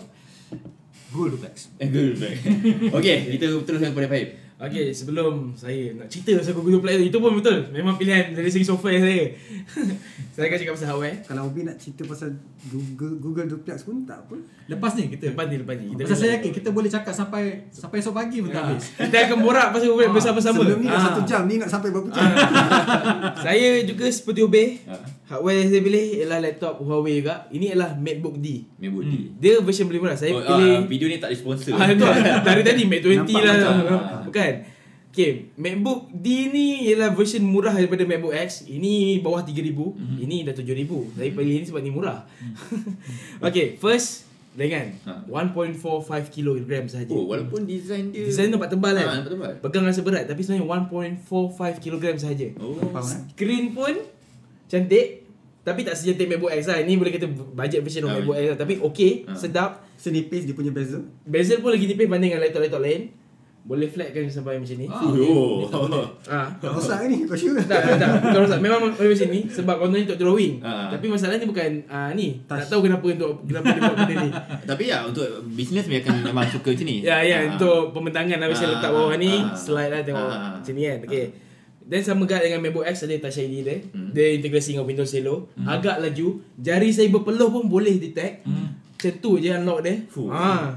Keyboard dia pun Betul Macam ala-ala MacBook ni keyboard lah Betul Anda semua sini nampak sini Yang tengok video Dan sebenarnya papan kunci dia sama. ha. Ha. Nampak? Dia keyboard dua-dua MacBook X dengan MacBook D sama Ah, dia nampak macam uh, butterfly keyboard MacBook tu Hmm. tapi lagi sedap. Lagi sedap. Oh. Ah lagi sedap. Betul. Saya pakai MacBook uh, saya bukan pakai lah saya cuba MacBook Air dekat kedai-kedai dekat uh, rakan-rakan office semua saya Hmm. try pakai keyboard MacBook tu. Tekan dia tak feeling. Dia macam Macam macam tak papan. Ah yes, yes. Macam tak atas touchscreen tau. Dia macam tak rasa that feeling tekan tu tak ada. Tu Tapi ni Tu tu dengan dengan Fazli type macam type apa ni? Macam papan. Ah, macam, macam, tipu buat kerja. Ah, benda tu buat ni. Ha. Aku buat kerja ke? Kita tak tahu apa benda dia buat kerja. Ha. Tapi ini Ah, Sedap. ni- ah, sedap sedap. Ah sedap. Awal-awal saya tak suka keyboard ni. Saya bagi rating keyboard ni sebenarnya 6 ni kat ulasan saya. Saya dah buat ulasan ni. Ah tapi bila pakai jangka masa lama dia akan bawa biasakan diri sebab travel key dia macam Ah, Obi cakap dia travel lah shallow sikit. Sebab saya banyak kali tertekan caps lock dengan jari kelingking saya. Ah. Ah, kita tak laju pop caps lock. Eh, tiba-tiba artikel satu perengan dah caps lock. Kita tak tengah seronok, tengah feeling, keluarkan apa yang dalam otak kita fikir. Eh, alamak semua caps lock. Terpaksa padam buat balik. Tapi tu lah memang kira macam apa yang dia bagi tu untuk Perfect, harga dia. Okay. Ha. Harga dia 3000 uh, 8 tapi ni saya cuma 8 GB RAM LPDDR3. Hmm. Tak ada version yang lebih tinggi dan memang tak ada upgrade. i5 8 Gen. Um, tak ada graphic card tapi buat Photoshop okay, smooth. Saya pakai CC 2019. Hmm. Lepas tu yang paling menarik ialah bateri. Bateri berapa? Kalau ikut iklan dia kata 12 jam. Hmm. Tipu. Ha, tipu. Sebab uh, Huawei sendiri cakap bateri 12 jam tu selepas semua blockware dibuang Hmm. dan brightness yang auto tu dia off dia setkan pada hanya 150 nit Hmm. dapat 12 jam. Hmm. Saya try dengan bright uh, auto brightness uh, saya dapat 8 jam. Oh, masih lama. Kadang-kadang Ha. dapat sampai 9 jam. Hmm. Sebab saya gunakan sekali saya uh, download uh, drama Netflix 10 episod saya boleh tengok straight 10 episod Tanpa charge. Tanpa charge daripada kosong eh, daripada 100 hingga kosong. Fuh. 10 satu episod tu dalam 1 jam. Okay. Ah, wifi slow. Itu itu kalau sepanjang hari duduk offline. Itu kira- offline, offline. Kira sepanjang hari kira daripada pukul 10 sampai pukul 6 Yes. tu masih tahan lagi. Sebab uh, itu ialah Netflix offline lah. Ah. Itu saya uh, off eh, wifi semua lah. Ah. Tapi 10 jam untuk tengok movie straight kat satu laptop yang kecil je ni. Ha. Cukup, cukup kuasa tu. Ah, ya, Dekat office pula kita, bila kita buat kerja dengan Photoshop, WordPress, kita type artikel, Hmm. pun boleh kata hari ni saya daripada sera- uh, 100, Hmm. esok ada balance lagi 10%. Okay. Oh. Persoalannya macam mana dia punya trackpad ataupun Ha, selalu Ah. selalu kalau Windows punya trackpad ah macam OB punya sedap lah pakai. Dua-dua ni pakai Windows Precision. Ha. Saya tu pinjam OB punya MacBook X sekejap sebab laptop ni orang lain pakai sekejap. Hmm. Saya lebih suka MacBook X sebab Lagi besar. dia besar. Hmm. Uh, MacBook uh, yang di ni kesat. MacBook X ni lagi smooth. Dia licin, dia licin Ah. ni. Ini tas saya kaca. Kacau. Ah, ini Oh, ini kelas. kaca juga tapi mungkin yang lagi murah punya sebab gesture tu support semua Hmm. support tapi tak nak tak nak pakai sebab eh macam tu lah rasa dia Ah. tak tak sedap lah tak buat hati MacBook X lagi sedap lah tapi dari segi overall Hmm. untuk bajet kalau cek ultrabook yang bawah 3000 berkuasa Hmm. ni ada jadi USB-C tak? Ada satu USB-C tapi tak tahu time time board ke tak tu tak try lagi Tapi ada USB Oh, ya, HDMI. Ah, HDMI ada dua USB A Ha. and dia punya fast charge dia adalah fast charging. Oh, Pakai fast 65 watt. Dan ini juga fast charging. Yes. Ini 65 watt juga. Ah sama 65 Berapa watt. berapa lama untuk charge? Boleh Ah, kata dan du- 2 jam. bawah 2 jam. Bawah 2 jam, Oh, yes. Bawah 2 jam. bawah dua jam. Bawah Macam 2 jam. phone, eh? 0 to 100 bawah 2 jam. Ha. 0 to 100 bawah 2 jam. Macam handphone lah. Ha, tu tak macam handphone. Boleh kata macam test charging OnePlus lah macam ha, below 2 jam, 0 to 100. Serius lah 2 jam. Wow, tak pernah pakai laptop uh, fast charging macam ni. Serius serius first time. Cakap pasal trackpad tadi trackpad dia untuk uh, sebuah compatible Windows Hmm. bukan lagi best in class. Ah, Ini betul. kekurangan dia Oh, juga lah. ya. Saya still lagi prefer trackpad yang saya guna pada uh, ThinkPad. Keypad. Pasal ThinkPad bukan saja trackpad dia bagus tapi dia ada ada, ada yang benda nap ada Oh. Macam yang uh, warna merah tu. warna merah tu tombol tu Hmm. at the same time ada bu- butang ke atas tu benda ni Oh, mungkin yeah. kata kenapa kita ada Klasik banyak benda ni kan tapi kalau kalau saya guna Photoshop misalnya Hmm. saya tak nak tekan sini pasal saya nak move ha. jadi benda tu akan meng- mengambil alih macam right click left click Ah. yang ada physical Oh. jadi kalau macam saya buat kerja eh buat kerja trackpad yang ada pada ThinkPad tu maksudnya masih lagi lebih lebih bagus dari segi nak buat kerja Photoshop. Ah. Dan saya memang banyak pakai Photoshop, saya dah mula belajar Ya, pakai Kira-kira memang tak pakai mouse lah Photoshop. Ah, pasal tu sudah ada. Pasal all this while problem utama bila buat kerja dekat laptop dan kenapa saya tak pakai laptop ialah kerana trackpad tak bagus untuk buat Photoshop. Hmm. Dengan sejak ada Windows Vision Driver, sekarang dah banyak improvement pada Hmm. teknologi trackpad yang ada pada laptop Windows. Saya sekarang dah tak dah tak bawa mouse bila saya keluar office. Ah. Dia dah elok. Tapi saya bukan orang yang buat precision pakai grafis sangat. Ah. Untuk simple edit, untuk cropping Ya, semua benda tu masih Mobil- lagi boleh dapat tahap precision yang saya boleh terima. Pemilihan tools pakai touchpad kat Windows Precision punya driver touchpad cukup bagus. Hmm. Cukup bagus. Ah kita pilih tools. Tapi lagi pun uh, cakap macam tu still tak banyak laptop yang bagus uh, bagi uh, performance trackpad macam ni. Hmm, Ah, ya. So tu salah satu benda yang kena score lah dalam Tapi ya, nak dapat yang bagus lagi uh, touchpad ni harga dia lagi mahal. Ya, mahal. Ah betul lah. Sebab ya untuk user biasa dia just boleh gerak saja pun dah cukup. Tapi untuk golongan profesional dia akan mementingkan Ya sebab gesture saya nak tukar app macam mana saya nak tengok desktop Hmm. atau nak tengok dia punya timeline dalam Ah. Windows 10 Jadi benda-benda yang ni memerlukan gesture. Ah. Jadi benda tu setakat ni memang tak ada problem pada trackpad ni saya boleh buat dengan smooth. Jadi benda-benda yang pernah menjadi buatkan saya nak mengamuk tak ada lagi. Ni lah. Saya pun kalau ada duit saya akan pilih ni sebagai driver lah. Tapi tak ada duit ni. Tiga ribu pun dah sakit lah keluar. Dari segi tadi Fahim, ah, Google Duplex. Tadi ada boleh cerita dari segi Google Duplex. Ke, bagi Fazli peluang cakap pasal hardware luar kot. Oh, okay, tu, okay. tu, tu memang dah, dah jadi dah, dah jadi satu Okey, kita satu kita yang- simpan untuk uh, akhir nanti lah. Akhir, akhir. Okey, Kita- untuk Fadli, ah. untuk apa hardware terbaik? Hardware saya rasa bukan yang terbaik lah tapi antara yang terbaru juga Ah, ya? di, uh, diumumkan oleh Apple iaitu Apple Watch Series 4. Oh, salah satu ah, ya, betul. Salah satu sebabnya adalah uh, fungsi EKG tu ramai yang pandang rendah, bukan pandang rendah macam tak Practical. skeptical mungkin dekat dia punya heart rate sensor tu Hmm. dia boleh detect uh, EKG ataupun uh, gerak gerak ke denyutan jantung. Ya, ya, ya. Jadi saya pernah guna EKG ataupun ECG uh, sebelum ni dan ianya sangat sukar dan mengambil masa yang sangat lama. Dan perlu banyak barang kan. Perlukan macam-macam wayar nak kena Ah. lekat kat bahagian badan sampai dekat kaki. Hmm. Kesiannya kau. Bukan kisah sebab nak chat. Body chat. So dia akan chat, dia akan letak semua sensor tu. Hmm. Okey. Dan untuk ada untuk uh, jalani sesi tu Ya. ambil masa dalam 2 jam. Tu tak termasuk dengan uh, result. Hmm. Jadi Apple Watch ni boleh gu- boleh guna dalam masa 30 saat dan dapat result serta-merta dan boleh uh, rujuk dekat doktor sekalipun. Hmm. Dan uh, benda tu sangat senang dan boleh bawa ke mana-mana. Yeah. Dia hanya sebuah jam. Still kalau nak uh, buat uh, through ECG perlukan pergi ke doktor juga. Uh, Apple masih lagi recommend untuk check dekat doktor mm-hmm. tapi uh, still benda tu masih lagi accurate. Hmm. Tapi Oh, masalahnya ECG tu accurate. Yang kat Apple Watch tu. dia tak recommend.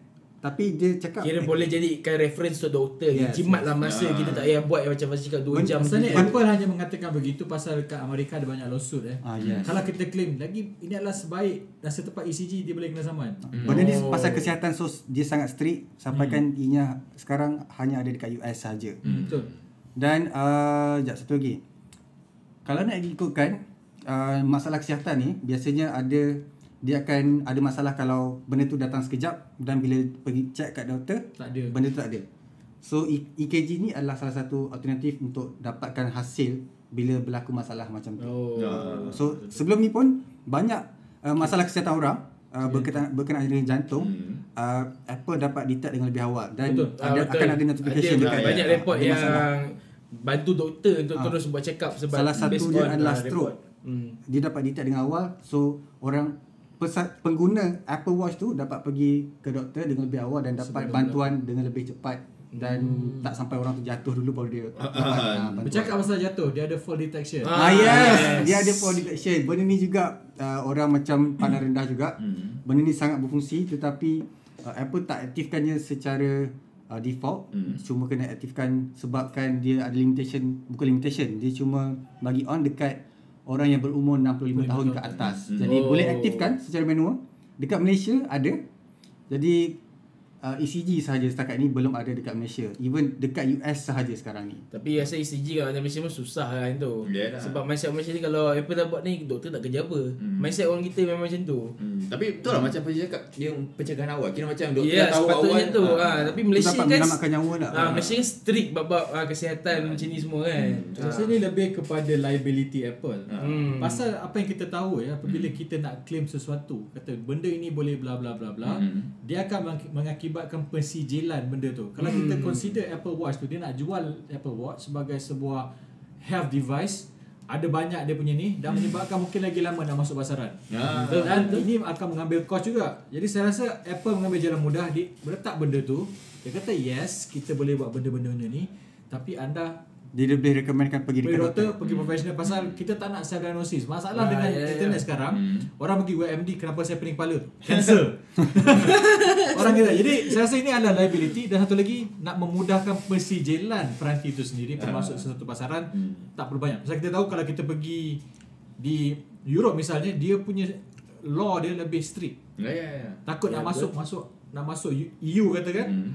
Banyak pula dia punya Ya. dia punya testing yang perlu lakukan. Yes. Bukan sahaja pada macam kita kata ada sirip dia tak ada apa-apa banyak lagi. Hmm. Jadi nak mengurangkan tempoh tu saya rasa. Dia kata for good pergi jumpa doktor. Ya, ya, ya, betul. Tapi saya rasa yang benda fall tu benda yang saya rasa adalah amat relevan sekarang. Pasal macam kita tengok di Jepun eh hmm. banyak kes orang yang duduk seorang. Dia orang ada satu masalah banyak orang dah tua-tua ni Ha. tak nak duduk di rumah orang tua. Ha. Ha. duduk sendiri, dia orang dah best berdikari. Ha. Jatuh 2 minggu tak ada orang tahu Oh. dah meninggal. Saya punya relatif pun banyak, uh, saya rasa saya ada salah seorang makcik. Hmm. Ma- makcik eh terjatuh lepas 2 hari baru orang Tahu. jumpa Ha. pasal bau busuk. Dia terjatuh dekat tandas. Saya rasa banyak kan pernah ada tak relatif yang jatuh kat tandas? Ah, Kadang nak banyak ambil amat wuduk apa semua. Jadi benda-benda ni automatic akan call emergency adalah benda yang sekali lagi menyelamatkan nyawa tu bagus. Pasal kita tahu prevention lagi better. Hmm. Lagi cepat macam saya semalam ada semalam ada tweet cakap kan kalau kita kena stroke kalau kita dapat buat dalam masa 4 jam kebaran kalian untuk Baik. baik semula dia lebih tinggi. Hmm. pasal boleh buang cloud tu cepat. Pasal yang masalah kita sekarang bila dah jatuh, kadang-kadang orang kita tak tahu apa ni, apa ni, apa ni. Ya. Pergi urut pula. Ya, Oh, betul, betul, betul, betul. Sebenarnya Orang Melayu macam tu. nak urut tahu nak, nak bagi minta Betul, angin, betul, minta angin. Silap. Kita jadi kalau kita ada orang kita ada device kata, "Eh, bukan ni aku bukan bukan jatuh biasa Ya, ni." kita pun takut. Kita pun takut. Jadi kalau kita ada benda yang boleh fall back untuk mengesahkan yes kita ada stroke kita ada early stroke ke apa Mhm. preventif bagus untuk menyelamatkan malahan hari ni Ha. Apple keluarkan empat iklan tak silap saya dekat dia punya YouTube macam mana Apple Watch menyelamatkan nyawa dia orang. Hmm. Dan benda ni dia orang dia orang pun tak keluarkan gitu. Dia orang ada collaboration dengan MIT tak silap Ah. saya untuk memastikan data yang dikumpul itu se-accurate yang boleh. Dia, dia tak setepat macam apa yang uh, Professional. pada hospital. Yes. Tapi dia good orang kata is a very good baseline. Dan baseline tu dia akan memudahkan lah. Hmm. Bagi saya itu adalah antara teknologi yang sangat orang tak pandang tinggi bukan ataupun pandang rendah tapi benda tu sangat berguna Life dalam- changing. dekat semua orang. Yes. Ya, Arif macam mana? Eh? Ha. Saya um, bukan alat uh, kecergasan tapi dia masih sebuah alat uh, fotografi. Dia macam untuk vlog iaitu Osmo DJI Osmo Pocket. Oh, yeah. Ah, itu antara tele, uh, Rare, rare, bila peranti rare. yang saya rasa macam saya tak berapa minat dengan uh, gimbal apa semua sebab saya, sebab saya tak bukan saya bukan vlogger macam Fazli uh, dan, dan saya pun just ambil gambar selfie tu je tapi bila tengok device tu dia rasa macam eh kena ada ni sebab macam rasa Beli ah, macam eh sebab layar tu dia unik dia kecil Ya, betul. dia simpan poket pun boleh Memang memang nama dia poket tu memang betul-betul simpan dalam poket. Ah, sebab saya pun macam tak ada lagi device ada gimbal. So akan datang kalau macam saya nak buat pergi travel ke apa mungkin nak tiba-tiba rasa nak buat vlog rasanya eh ni kalau dah ada poket ni senang kan keluarkan terus Betul. shoot kan. Dia macam Nokia apa yang panjang tu dulu. Ah Nokia S93. Ah, ya ah ke? yang boleh split macam tu kan. Bukan dia macam literally Ya. uh, straight macam tu je. Apa saya lupa. Nokia yang warna hitam merah tu. Kamera saja ke phone? Macam. Oh itu Ah, ya, 3530 yang dia boleh pusing itu. Dia macam 570 juga. Mungkin Hmm. tapi yang tu memang straight macam uh, DJI. Ah DJI. Ya, yang poket uh, Osmo Osmo poket ni uh, handphone tu akan jadi gimbal sekali Ah, lah sebagai viewer. menarik pakai Ah. uh, kalau kita sambung uh, dia dia ada dua sambungan tau. Okay. Dia, dia, dia boleh tukar jadi uh, USB-C dengan Okay. Lightning. So boleh connect dengan Android phone, boleh connect dengan Alright. iPhone dan menarik bila anda connect uh, telefon ke uh, DJI Osmo Pocket tu, dia boleh jadikan ni sebagai viewfinder. It. Oh dia Ah. sebagai viewfinder je lah. Dan Kita- uh, boleh control uh, sambil pun boleh Yalah, control. kita tak boleh pakai kamera handphone lah. Tak. Ah, tak payah. Dia ada Oh. kamera dia. Dan kamera dia sebenarnya boleh shoot 4K 60 4K 60. 4K 60. Ah, dan dia punya bateri pun ada 2 jam. Kira macam cukup Oh, sangat. okey. Ah, Dan sensor dia lebih besar daripada sensor yang ada pada shoot. phone kamera biasa. Hmm, hmm, hmm. Dia Oh. two,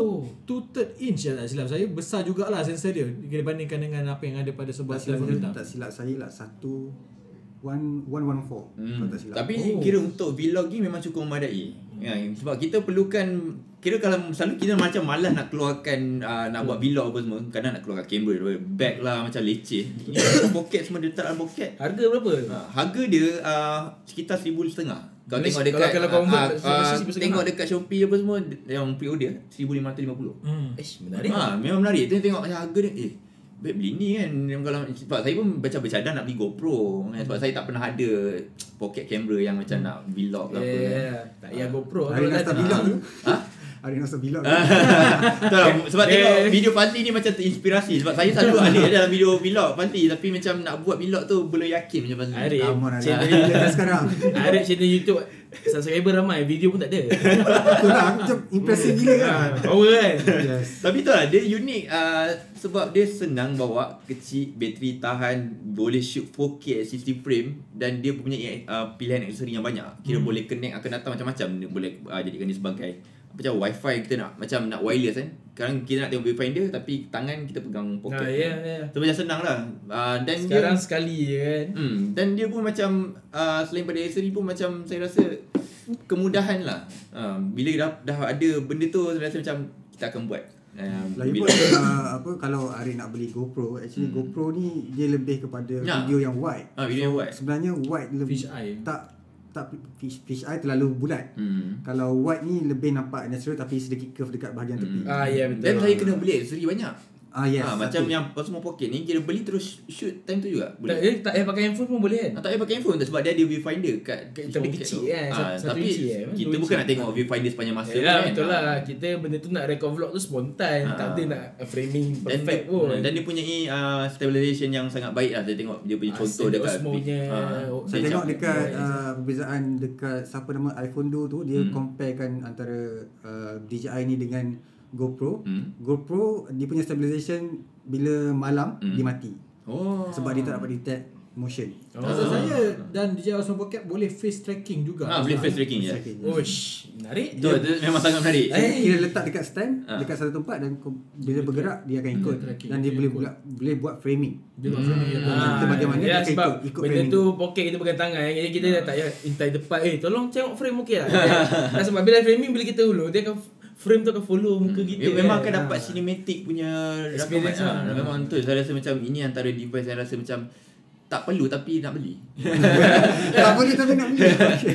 Lagi power daripada Fazli tu tu dah dia sebab dia sebab dia macam unik lah. Yeah Ya betul sebab saya pernah saya sekarang, sekarang sedang menggunakan uh, DJI Ronin S Hmm. dan benda tu sangat besar perlukan carrying case dia yang sangat besar. Hmm. Bila saya pergi dekat mana-mana tempat ke orang macam apa ni?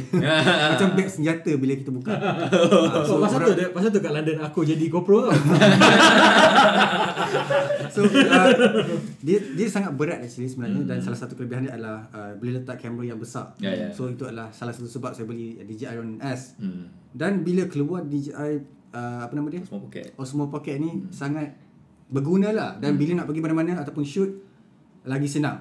Tak perlu bawa kes yang berat-berat Ah, senjata tu orang menyesal tengok. lah boleh- beli Ronin S yang mahal tu Bukan menyesal, masih lagi ada advantage bila letak Ah, kamera. eh. Dan still dapat depth of field tu lagi Yeah canggih lah, memang lah. DSLR. Hmm. So DJI Osmo Pocket ni bagi saya antara yang paling ah, saya lebih syorkan vlog guna uh, DJI ni Hmm. daripada guna Produk even ini di era Fazli telefon sendiri. Nah, tu lah ramai yang tanya dekat komen bila nak review kan. Ni semua antara usaha uh, atau usaha kira macam kalau DJI bagi kita akan review lah kan. Yes, Ah, kita akan review. hmm, sebab kita pun sebelum ni ada pernah review di produk DJI kan. Produk DJI kita di, uh, review drone Hmm. apa lagi? Hmm.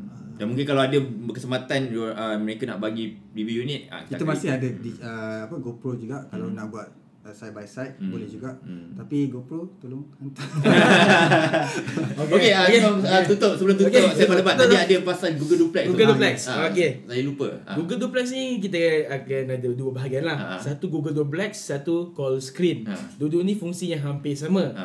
Okay, Google Duplex ni hanya dekat Amerika Syarikat saja, tak ada kat negara lain. Ha. Walaupun kita root macam mana pun tak boleh. Okey. Sebab Google Duplex ni memerlukan uh, restoran-restoran yang terlibat turut mendaftar restoran orang dalam sistem Google lah. Hmm. Okay, dia macam ni. Kita bagi arahan suara, Hey Google, book a table. Ha, tengok, handphone pun tu dengar. Kita bagi arahan suara Google tadi tu. Ha. Dan kita cakap booking untuk uh, tempah meja untuk dua orang kat restoran ABC. Misal kata. Ha.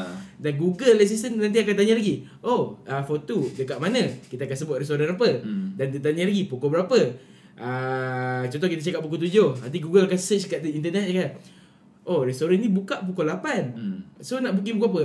Ah uh, boleh tak saya book, uh, book antara pukul 8 hingga 9. Hmm. Dan Google akan book antara pukul 8 hingga 9. Lepas tu kita ingat, oh habis macam tu eh, buat jadual ke alamat tapi tak.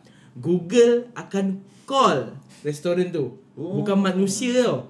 Google Assistant akan gunakan uh, permission daripada peranti anda untuk telefon Kedai. restoran tu. Kira dia Kedai tu. menggantikan suara kita lah. Ya. Ha. Dia menggantikan kita. Ah, Dia dia boleh kita. kita. Ah. So, kita dah tak payah call orang uh, restoran untuk booking. Google akan call. Hello, this is Fahim's Google Assistant and I would like to book a restaurant uh, I want to book a table for two at 8:30 PM. Hmm. Nanti bila uh, orang contoh orang restoran, oh, 8:30 uh, 8:30 dah penuh. Boleh tukar 9:30 tak? Google uh, oh, hold on. Google Assistant akan keluar. Oh, uh, nine- uh, 8, uh, 8.30 dah penuh. Dia akan tukar masa. Ha. Okay, um, Mr. Fahim said you can book at 9. Ha. Yes, nine. Then terus set. semua tu dia dah automasi dia dia dah uh, kira macam Google dah mempelajari apa yang Yes, dia nak betul. semua. Dia, tapi lagi satu lah, ah, dia faham slang biasa Ha. dan ah, kalau slang yang terlampau teruk, ah, yang tahu English slang tak perfect, Hmm. Google takkan detect kan. Google akan blur. Sebab kalau kita tengok ah, demo dekat apa Google event itu Google I.O. eh. Ha.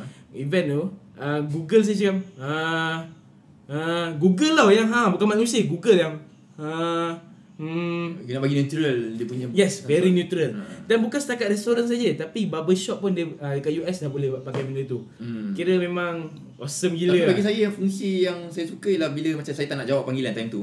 Ah, itu itu kat call Ah, screen. ah, call Okey, cakap pasal call screen lah. Siapa nak pakai kat Malaysia boleh, tapi kena root dulu. Hmm. Ah, saya akan cuba nanti sebab Pixel 3 ni ada Titan M security chip tu. So tak berani lagi nak root. Tapi akan cuba sebab nak try call screen. Call screen ni misal kata saya um, orang ni call telefon saya. Saya tak nak jawab panggilan uh, orang ni.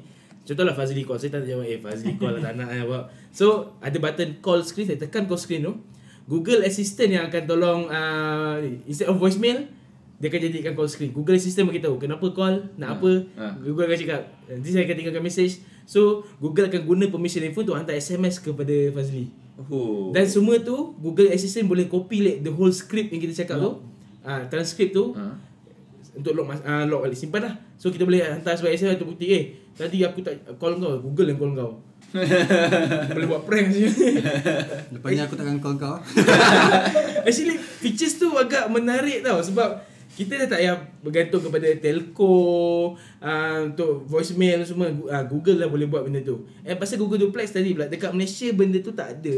One of the reason because dia gunakan wifi call. Hmm. dekat US wifi call dah memang uh, wide lah. Kat Malaysia hanya certain telco je kan? DG ada. DG support wifi, wifi call ni perlukan satu kena ada LTE plus kan? Hmm. 4G plus saja baru boleh pakai wifi call.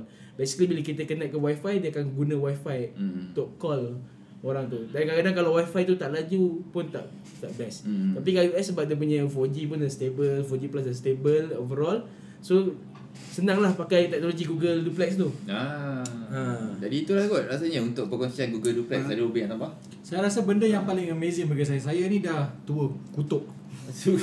Benda yang Masih bergetar lagi. apa yang diperlihatkan pada Google Duplex ni lah benda yang saya dah lihat sejak pertengahan apa sejak pertengahan 90-an. hmm. Tahun 1968 macam mana dulu ada menunjukkan ada tu show nama dia Beyond 2000. Betul. Atau dia Beyond Tomorrow pula. Hmm. Kata in the future robot boleh bercakap macam manusia. Ha. Saya dah menanti 30 tahun untuk benda tu. Hmm. Dan selama ni saya ingat benda tu sebagai hanya fiction science yang takkan jadi. Jadi bila first time tengok Google I.O. Saya tengok uh, dia punya stream memang terkejut. Hmm. Jadi benda yang saya nantikan selama 30 tahun yang selama ni saya akan tak akan berlaku. Hmm. Akhirnya. Akhirnya, berlaku. Oh. Memang kedengaran seperti seorang manusia bercakap dengan kita. Benda yang saya rasa sangat mind blown. Betul. Bila saya fikir balik memang mind blown macam wow. Macam Fahim cakap, hmm, yes, aha, hmm. Benda ni manusia biasa pun kadang-kadang kita cakap dengan dia, senyap je. AI boleh bercakap lebih baik pada manusia. Tak betul. Cuba fikir balik macam dia just a voice generate using a computer or few uh, recorded voice daripada manusia-manusia ataupun uh, pelakon-pelakon uh, suara. Dia record that suara then macam mana Google merge all that voices yang dah direkod jadikan very natural. Tak benda tu lah benda yang saya rasa hidup tahun 2018 sangat menarik. Satu macam saya cakap tadi, uh, benda yang anggap sebagai fiction science ada reality. Hmm. Kamera peranti dah semakin baik Hmm. dan ada orang buat sebenarnya iPhone punya phone kamera lawan dengan Red pun dah tak apa jauh. Ha. Jadi kita hidup di zaman di mana benda yang pernah dianggap sebagai mustahil dah jadi ini. Hmm. Jadi menyebabkan saya tahun 2019 apakah benda yang akan Yeah. mengajar kita. Jadi Okay. teruja sangat dengan apa yang akan berlaku tahun hadapan. Saya pun ada ada apa ada tengok juga uh, Apple ada buat nak buat juga macam cross screening Hmm. macam Google. Ah ada. Ah, saya ada tulis artikel tu. Dia dah pattern kan dah benda tu. Hmm. Tapi in future kita akan lihat pada iPhone Mungkin juga. uh, sebab benda tu uh, hanya satu pattern yang baru didaftarkan pada tahun ni. Uh, Apple baru je register dia. Basically apa Apple buat ialah fungsi do not disturb yang lebih maju. Tapi semua kita tahu apa yang Apple tiru ataupun buat adalah lebih baik. Kita tengok lah apa the time, Hmm. masa kita tahu dia buat Siri dulu tapi Google Assistant Dah. maju. masih Ah. lebih maju. Jadi dia not always true. Dia kata 80 ada 100% Yes. awal video tadi. Ah. Jadi Tapi okay, uh, cakap pasal OB. OB pun kata AI ni agak-agak kita ni akan bergerak ke arah Skynet dalam transform, uh, Terminator ke? Robot kawal kita atau AI yang kawal kita macam possible tak benda tu berlaku? Skynet masih ada. itu itu Skynet agak-agak ah Obey rasa benda tu possible lah one day a robot uh, ataupun an AI can control human sebab hari tu saya tulis satu pasal AI yang main game klasik eh uh, developer dia cakap kami terpaksa gunakan satu uh, masa AI tu main game dia kata developer terpaksa ada masa AI tu main game sebab kita tak nak AI tu lari kawalan ataupun bergerak dengan sendiri.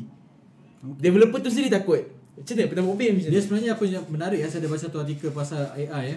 Ha. AI ni diajar untuk bercakap antara satu sama sama Ha, lain. Hmm. Dan kerana dia AI, dia merasakan menggunakan macam saya cakap, saya nak makan. Bagi dia saya nak makan ialah benda yang tidak optimize. Hmm. So dia bila bercakap sama sendiri jadi sana mak sa sa saya nak makan sana saya sana mak Sa sana mak, sana mak. dia mencipta bahasa sendiri antara satu sama lain untuk mengoptimiskan perbualan. Jadi bila researcher tengok balik, ni bahasa apa dia pakai? Sampai researcher tak boleh tahu apa dia cakap. Hmm. Dia orang mencipta bahasa sesama sendiri untuk mempercepatkan. Jadi dah Skynet. Dah mulakan. dah mulakan. Dah dia orang cancel benda tu pasal dia kata jangan buat bahasa sendiri. Jadi kita mungkin berhadapan dengan benda tu. Cuma kita nasib baik bahawa Kalau tak silap saya uh, siapa nama Google tu? Kak Kalpe pula apa nama lelaki yang cakap dekat Google I.O tu ya Allah Sunda Pichai. Sundar Pichai Ha. dia ada cakap juga tak silap saya dia yang cakap jangan guna dekat uh, senjata Ah, Dan menarik yes. sekali dia sebenarnya Google tahun ni dah ada dia ada buat uh, uh, persetujuan dengan Pentagon Hmm. nak buat AI tapi uh, pekerja Google bantah benda tu so dia hentikan benda tu. Ya. Tapi at the same time dekat UK Ha. diorang baru saja buat war game Hmm. dia test dalam uh, 24 jenis remotely operated vehicle ni kapal ter, uh, drone Hmm. robot uh, boat semua nak tengok capability Pakai AI. dia orang pakai AI Ha. dan yang orang yang buat AI ni semua bukan Google apa semua tapi private contractor yang tak kisah dia rasa Buat, tak ada kita perasaan nak, lah. kita ada duit Hmm. Benda tu dan dekat China pun dah pakai AI. Dia orang lagi sana tak ada langsung halangan pasal kerajaan dan tentera adalah sama. Hmm. Hmm. Jadi Amerika sekarang berada dalam dilema di mana kita ada teknologi ni. Kita ada all this capability tapi kita ada halangan moral. Tetapi musuh kita tak ada halangan moral. How do we handle that? Ah, ya betul lah. Dan kalau kita tengok dalam cerita Fallout dan kita main Ah. game Fallout kan Ah. yang menyerang Amerika adalah China pasal China tak ada problem buat robot, buat nuklear apa semua. Ah. Jadi kita sekarang kita mungkin kata kita ada moral obligation untuk menghalang benda berlaku Hmm. tapi adakah orang lain dan kuasa besar berkongsi kita punya sentimen bahawa AI akan membawa kemusnahan kemusnahan pada kita Hmm. kita tahu Elon Musk awal-awal tahun dia cakap kita patut dah ada law tentang bla bla bla Ah, betul lah, kita yes. patut ada um, uh, siapa nama apa nama law dia tu eh uh, cerita cerita Will Smith tu uh, iRobot tu iRobot, ya, ada tu dia kata robot uh, a robot uh, a robot cannot harm dia punya creator apa semua tapi tak tahu Ya. Sebab sebab tu saya saya cakap tadi. Ha. Kalau sel- selagi developer tu sedar betapa bahayanya AI ni ataupun sambil dia develop tu dijaga, I think it's, that's not going to be a problem tak masalah sebab developer tadi sendiri sedar macam tadi yang Obey cakap dia boleh buat bahasa sendiri tu. Dia pun sedar benda tu bahaya dan dia terus stop that project. senang cakap lah Ha. senang cakap kita ambil kita kita tak payah pergi AI kita tengok apa yang ada sekarang Ha, betul. kita percaya Mark Zuckerberg cakap data anda tidak akan digunakan Tengok sekarang. Pun, eh. kita tahu apa jadi Hmm. dengan Cambridge Analytica Itu manusia. lepas tu kita sekarang di UK berjaya ambil dokumen pada Facebook tengok dia orang ada internal dokumen yang boleh kata bercanggah dengan etika Yes. dia orang tak ada masalah pasal dia kata kita harus take care kita dulu Yes. So corporation sekarang dah ada berbenda tu. Ini baru manusia yang gunakan data data mining biasa saja. Bayangkan AI. Kita percaya ke semua syarikat yang buat AI ni akan memenuhi dia punya moral obligation atau dia akan memenuhi dia tengok eh benda ni akan buat kita punya duit. Oh. Dia tak tahu, dia tak tahu. Dia semua spekulasi. Percaya atau tidak Lepas anda tengok video sembang lembat ni Pasti akan ada benda berkaitan AI Keluar kat phone dari iklan-iklan Eh, Sebab Google semua. Yes Google always watch you and hears you Ba- bu- Bukan nak takutkan Tapi ini reality tak, Saya tanya Kita orang bila kat office berborak. Hari tu cakap apa nak berborak? Eh jom makan subway. Tiba-tiba kat Facebook Keluar subway. Macam Iklan ada subway. Lepas ni tengok juga ah dia tak subway. Gila lah. Kat situ kadang saya Kadang-kadang Weh Bagus juga Tapi kadang rasa seram juga Kadang bila kita cakap Benda-benda pasal private Ya, ya. Tiba-tiba ada iklan benda ni macam Weh betul ni. cakap, cakap pasal AI ni kan. Uh, macam call screening dan apa Google Duplex. Mm-hmm. Uh, salah satu benda yang saya tengok tak silap saya Google I.O juga. Hmm. Dia dapat dia akan detect dekat mana kita berada. Sekarang pun uh, Google pun dah detect. Betul. Dah akan kesan kita pergi okey dah detect mana kat rumah, mana tempat kerja kan. Hmm. So dia akan salah satu benda yang saya rasa penting bila dia tahu kita dekat rumah dan dia akan tunjukkan apps yang kita akan guna dekat rumah. Ah, Dan juga bila dekat kerja kita dia akan tunjuk apps yang kita buat kerja. So itu adalah salah satu benda yang saya saya rasa saya, saya belum nampak lagi tapi benda tu ada dekat Google I.O ke- kalau tak silap saya. Benda tu sebenarnya betul kan saya kalau silap kan. Benda tu first time saya nampak sebenarnya dekat phone HTC. ACC. Dekat dia punya Sense AI tu. Ah, dia- yes. Memang dia panggil benda tu uh, tak ingat dah. Tak ingat masa dah lama tak pakai phone HTC. Hmm. Kita boleh pilih antara muka phone tu akan berubah mengikut lokasi. Oh, dia, yeah, dia yeah, akan sense, dia akan ah, bagi sense dia akan bagi app selection based on location.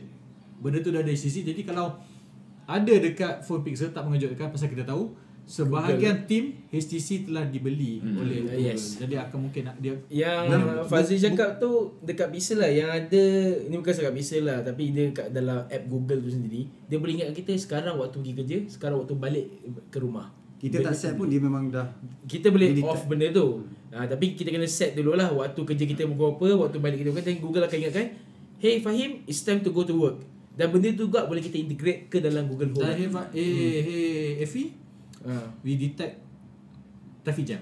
Yes. Hmm. Hmm. Dia akan keluar notification. Macam tadi saya dapat, habis saya dah buang lah. Uh, the traffic on your way home uh, delay. Dia akan bagi tahu dan ada list delay kat jalan mana, berapa minit hmm. jalan ni, berapa minit. Macam, wow. dan bukan itu sahaja uh, termasuk macam kalau kita dekat rumah kawasan ataupun uh, lampu rumah kita macam dim ke dia tahu kita nak tidur dia akan dimkan dia akan tukar black Yes. and white punya uh, Ah, filter. betul. Hmm. Itu Kemudian- thanks to digital well-being lah, Android Ah, Pie. maybe. sound Ah. juga uh, dia akan senyapkan kalau kita tengah tidur dia akan uh, automatically akan do Yes. disturb dan sebagainya benda tu yang benda yang kita nak dekat artificial intelligence dalam telefon so itu adalah one of the ada yang tak ada lagi kan macam saya cakap tadi yang tiba-tiba uh, auto dia akan uh, kurangkan brightness dekat screen Oh, sebagainya. uh, Benda itu actually ada. tapi Dia bukanlah AI tapi itu adalah satu rutin yang kita kena guna Oh, dengan kita Google Assistant. rutin. Hmm. Ha. Dan macam saya cakap tadi saya pakai Pixel ni kat rumah lebih uh, lebih apa intens apa excessive lah, lebih banyak guna. Bila saya cakap, "Hey Google, good night." Rasa macam forever alone je kan kita borak dengan Google kan. Tapi tak. Google akan automatic dimkan lampu ataupun terus mainkan lagu uh, apa orang kata white noise ke, Ah. lagu yang untuk kita tidur. Lampu dimatikan, uh, handphone terus tukar benda do not disturb. Screen handphone akan terus jadi paling low. Dan bila kita dah set alarm untuk bangun tidur, bila kita sebut "Ha, hey Google good morning, lampu tu akan terang, Hmm. music Spotify ataupun berita akan dimainkan dia akan terus bagi tahu uh, on your way to work today there's no traffic jam. Dia akan bagi tahu semua benda tu. tapi itulah macam Fahim cakap tadi tadi still kena cakap okay Google Ah yes, ya betul lah. Tapi kalau Ah, still kena still kena set lah. kena set Ah. routine. Tapi kalau kita ada dapat buat macam tak perlu nak cakap pun Akan datang mungkin kat Yes. situ pun kita just trigger hey Google itu lagi sekarang. lagi Ah. menyenangkan daripada bercakap. Hmm. Saya rasa benda tu semua dah ada. Cuma macam saya cakap macam saya cakap pasal Apple tadi eh. Saya pun nampak juga dekat Google I.O tapi tak Ben- pasti. Benda ni tu- sebenarnya macam tak liability lah. Sejauh mana kita nak bagi akses kehidupan kita kepada Ah, mesin. AI, Itu je yes. sebenarnya. Ah betul. Saya rasa most people tak kisah. Dan macam saya sendiri, rumah saya tak ada langsung benda yang bintang. saya tak percaya pada IoT. Pasal saya follow account Twitter Internet of Shit tu. Saya dah, oh, Ah. saya dah tua. Saya ada pernah saya ada pre- saya membesar dengan Terminator first tengok dekat wayang. Saya takut dengan AI. Orang macam saya skat pasal benda kecil tengok Terminator. Oh, lepas tu tengok Terminator tu pula. Oh. Jadi generasi saya ada skepticism yang amat tinggi dengan benda ni. Hmm. Jadi Obi dah biasa main game kot takkan tak biasa tembak. ya, Obi Obi cakap dia follow Internet of Shit ni. Ah. iOS. Jangan kecam saya. Ya, pasal kita kita ada masalah dengan benda tu. Dengan 5G lagi benda tu akan jadi lebih prominent, lebih pantas sebenarnya. Oh, uh, Obi sebut 5G tadi. Hari ni dekat China, Xiaomi dah try satu Mi Mix 3 yang di uh, yang ditukar Snapdragon 855 yang ada 5G. Kalau kita nak pakai IoT device, kita perlu pakai Wi-Fi tau. Tapi Xiaomi try pakai 5G dia, dia tukar warna lampu bedside lamp dia tu. Instantaneous.